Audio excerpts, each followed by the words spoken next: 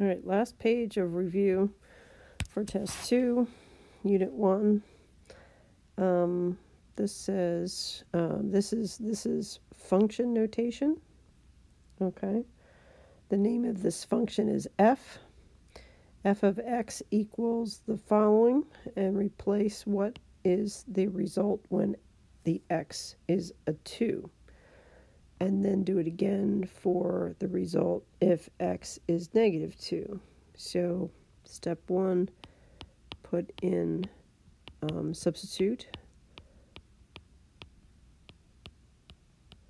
all the x's for the 2 for the first case.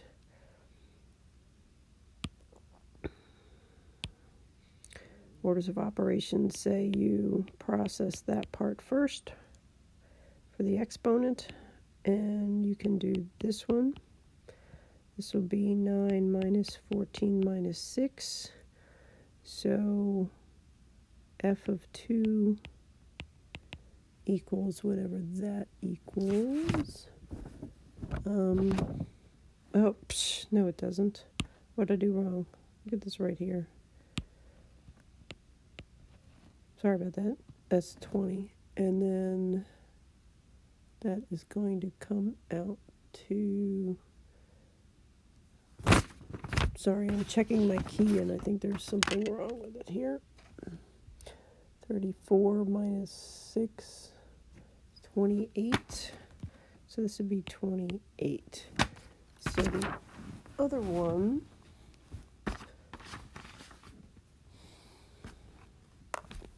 what happens when you put a negative 2 in. So this is going to be 5 times, excuse me,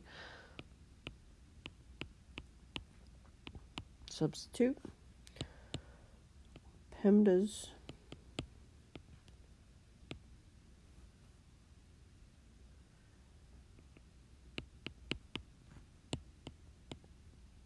Yeah, so when you put the negative in, the only difference is this little part right here.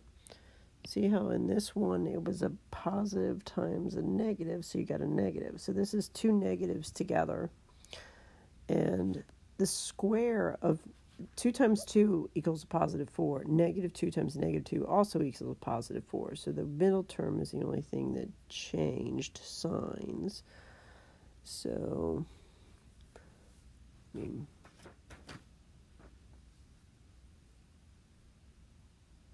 hang on. So that's where I think I messed up on my key. So give me a second. Let me double check this stuff here. I know you probably, if it wasn't a class, you'd be telling me what I did wrong already. Give me a second to figure it out by myself. All right, this one over here wasn't 28. I think I just got the answers mixed up. 20 minus 14 minus 6 is 0. Okay? But 20 plus 14 minus 6 is the 28. I just put the answers, I think, in the wrong place. Okay. So that one's this one, and this one's this one. Okay. Make sure that I do that on my key. Give me a second, sorry.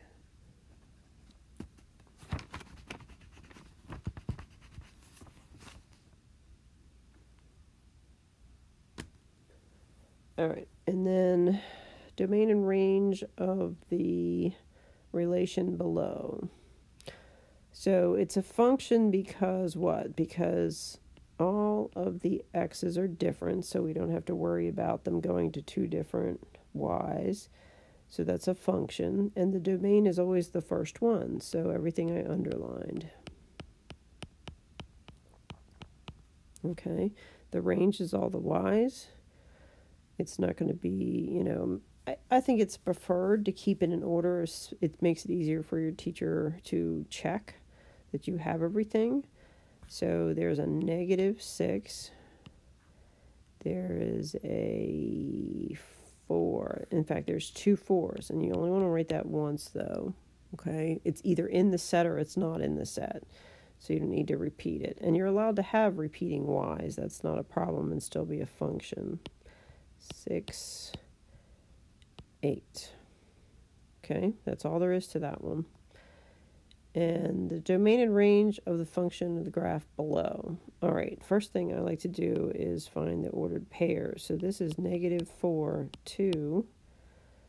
Um, this one is 3, negative 2. And right here, even though there's not a dot, it hits there and bounces. So I need to know that that's 0, negative 4. Right, because the domain is how far this way and how far this way you go all right, for the x's. So we went all the way to negative 4, right, for the domain, and we went all the way to positive 3 for the x's on the x-axis, okay?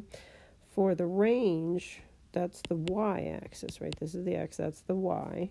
So for the y, how far down did we go? We went down to negative 4, okay? That's this negative 4, right? And then how far did we go up? We only went up to a 2.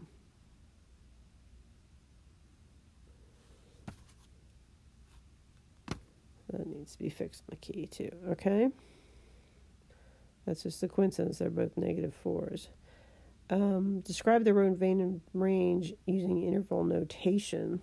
So x's, if you can picture, this line goes on forever. So it'll go this way forever, and it'll go all the way this way. So it'll go this way forever. See how it keeps going that way? So the domain, so the x's go infinitely low and infinitely high.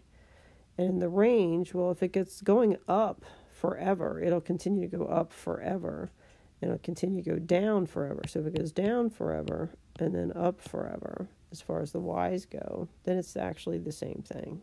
Okay? That's it.